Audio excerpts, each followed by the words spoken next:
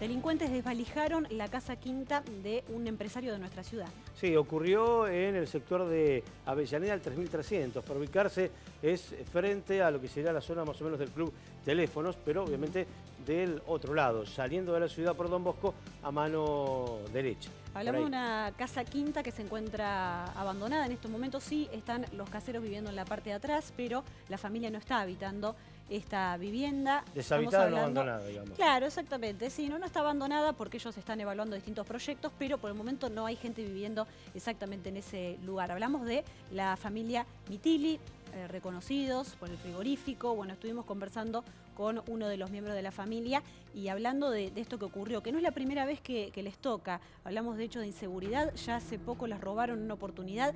También eh, les prendieron fuego parte de la vivienda. Así, entraron por ahí por ese alambrado. Sí, directamente cortaron el alambre tejido, ingresaron a la propiedad, fueron o con un camión o una camioneta o un vehículo grande porque desvalijaron, se llevaron de todo. Una mudanza hicieron prácticamente. Prácticamente hicieron una mudanza de esta casa quinta ubicada en Avellaneda al 3000.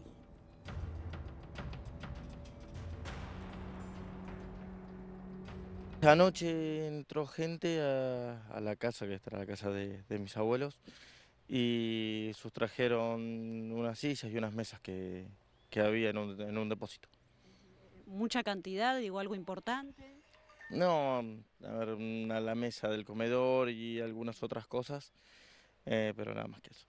¿El lugar no está habitado? ¿Ustedes no, no están viviendo acá? ¿No tienen movimiento en ese sentido? No, nosotros no estamos viendo justo ayer el casero justo no estaba, estaba solo la mujer de él, entonces eh, pasó, se hizo la denuncia correspondiente, vino el móvil, pero cuando ya vino ya, era tarde. ¿Por dónde ingresaron?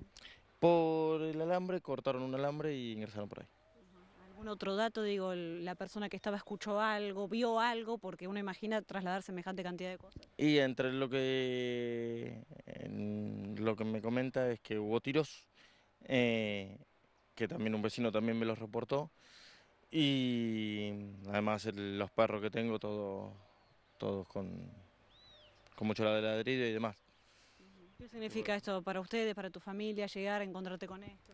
Y una sensación muy grande, eh, por es algo que, uno tiene, esto era justo lo que robaron, era justo un depósito, que son las cosas que uno, que uno va, guardando y demás, que te lo saquen nunca es lindo. deberían haber venido con algo para cargar semejante cantidad de cosas. Y por lo que me comentaron había ruido como camión, así que han venido en una camioneta o vieja o en un camión que por el tipo de, ruido que, se escuchó. ¿No es la primera vez que tienen un episodio así extraño de inseguridad? ¿Han sufrido hace poco algo similar o, al menos de alguna característica? Hace poco hubo un incendio, entraron, la prendieron fuego, no sustrajeron nada. Eh, sustrajeron cosas, pero vinieron posterior al incendio, digamos. Eh, así que no venimos medio, medio golpeados.